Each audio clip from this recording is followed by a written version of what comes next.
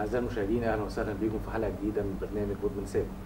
النهاردة وزي كل مرة حابين نتعرف على بطل من الأبطال اللي قدروا يتحدوا مرض صعب جدا، مرض خطير جدا بتواجهه المجتمع بتاعنا هو مرض الإدمان. آه، قدر يواجه ال- ال- المرض دوت ويقاومه عشان يقدر يصحح مسار حياته ويفيد نفسه ويفيد مجتمعه. قدر يحرر نفسه ويحرر جسمه ويحرر عقله من مرض خطير جدا اسمه الإدمان. النهارده معانا بطل من الأبطال دول معانا أحمد حابين في الأول يا أحمد نرحب بيك ونتشرف بيك وتعرفنا عليك في البداية. أهلا بيك يا أستاذ سيد. آه أنا اسمي أحمد إمام. آه مدمن متعافي. كان معايا مشكلة مع المخدرات 20 سنة. رحلة صعبة طبعا. آه ما شفتش منها أي مكسب. كله خسارة خسارة. خسرت حاجات كتير قوي. من همهم إن أنا خسرت نفسي خسرت أهلي خسرت شغلي. تفتكر يا أحمد الظروف أو الفترة ديت كنت إيه اللي بتمر بيه ودخلك في موضوع المخدرات؟ وإيه الدوافع اللي خلتك تبتدي تاخد مخدرات أو تدور على فكرة إن أنا أتعاطى أي مادة؟ آه أنا كنت شايف إن أنا عندي حب الاستطلاع بحب أجرب. أو بحب آه أمارس. آه أنا غاوي حاجة زي كده. طبعا اكتشفت بقى في الآخر خالص بعد ما اتعالجت وتعافيت إن ده سلوك ادماني بيبدأ معايا من سن خمس سنين. وأنا السلوك ده أنا ببتدي ان أنا ادعمه لحد ما بوصل اول حاجة بشربها هي السيجارة. ببدأ بقى بحب الاستطلاع طبعا مع الأصدقاء والصحاب جرب ديت مش تجرب ديت. ابتديت ان أنا أخش في السكة ديت من بعد سن 21 سنة. طبعا ابتديتها من أول حاجة ابتديتها بالدخان. آه بعد الدخان بصيت لقيت نفسي دخلت في ال chemical. بعد ما دخلت في ال chemical وصلت للهيروين. لكن تفتكر يا أحمد في أول ما بدأت تاخد مخدرات كنت بتوفر إزاي فلوس المخدرات وإزاي كنت تقدر تتعامل مع اللي حواليك؟ وانت داخل في- عالم جديد عالم أكيد صعب وأكيد فيه آه، ألغاز كتير جدا. أنا زي ما كنت بقول لحضرتك كده كان الأول في فلوس معايا يعني آه، الفلوس موجودة. آه، بقبض من شغل الصبح رغم من ذلك كنت بشتغل بعد الدورة برضك في الكافتريات فكان معايا فلوس فكان سهل كانت الفلوس معايا. أول ما دخلت في الهيروين تمام ابتدت بقى المشاكل تزيد ابتديت إن أنا الفلوس اللي كانت معايا ابتدتش إن هي بقت تقل ما بقتش قادر إن أنا أوفر فلوس. لو لو قلنا إيه أكبر موقف خلاك تبتدي تفكر إن أنا لا لازم أخرج من الموضوع ده لازم اقف لازم أبتدي أغير مسار حياتي؟ أكتر موقف عندي أنا في الفترة دي كانت لسه آه، المدام عندي ما كانتش لسه انفصلت عني كانت لسه موجودة.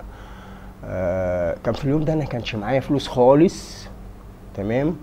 ومش عارف هنجز فلوس. مش عارف مش عارف. آه، كله عملت عليه حوارات كله عملت مش خلاص الدنيا اتقفلت. كان عندي ابني ابني أنا عندي ابن اسمه مصطفى. فكان مصطفى كان في الوقت ده وكان عنده في الفترة دي كان عنده ثلاث سنين.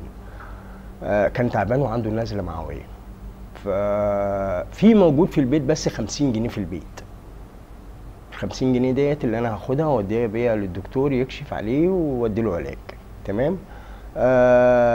طبعا آه، دماغي اشتغلتني أو رحت واخد ال 50 جنيه ورحت ضربت بيها تمام؟ وقلت دماغي قالت لي إنك أنت بعد ما تضرب بقى بال 50 جنيه هتعرف تتصرف في 50 جنيه تانية حتى عشان هتعرف تتعامل تعرف تتكلم تعرف تقول. لأن أنا وصلت للمرحلة اللي أنا ما بقتش أعرف أتعامل وأتكلم ولا أقدر أوصل للي أنا عايزه إلا لما أكون واخد. في الفترة دي كنت أنا في الوقت ده أنا كنت تعبان. فاخدت ال 50 جنيه ورحت ضربت بيها طبعا ابني تعب زيادة فمراتي بتقول لي فين ال 50 جنيه؟ المدام وقلت لها والله أنا ما شفت حاجة. سلوك مدمن. والله أنا ما شفت حاجة أنا ما خدتش حاجة أنا مش عارف إيه بتاع. آه طبعا في الوقت دوت اتجهت لأهلي الولد تعبان آه، وهو ولا في الدماغ ومش عارفه أعمل إيه. ده كان أصعب موقف بالنسبة لي. إن أنا بديت نفسي عن ابني. ابني بيموت وخدت رغم من ذلك الفلوس اللي هو بيتعالج بيها ورحت رحت جبت بيها مخدرات. عايزين نفهم رحلة علاجك مرت عليك إزاي؟ رحلة علاجي أنا ابتديت إن أنا دخلت 26 11 2008 زي ما أنا بقول لحضرتك كده اتحجزت ثلاث شهور في المستشفى. طبعا القرار في الأول كنت متلخبط فيه. تمام؟ لأن أنا كنت متلخبط. آه، حابب حياتي بقى وأنا مبطل وحابب حياتي في نفس الوقت اللي أنا إيه؟ اللي أنا كنت بضرب مخدرات. ابتديت من الشهر الثاني ابتديت إن أنا آه تلمس معايا. ابتديت أسمع. بعد يعني فترة الأعراض الانسحاب زي ما آه، يعني أعراض انسحاب تبطيل مراحل. أول حاجة أعراض الانسحاب اللي هو الديدوكس بعد أعراض الانسحاب في حاجة اسمها تأهيل سلوكي. التاهيل السلوكي اللي هو بقى ابتديت اللي أنا آخد وعي وأعرف إن أنا فعلا معايا مشكلة مع المخدرات وإن أنا مدمن. ابتديت أسلم دماغي وبقيت أسمع.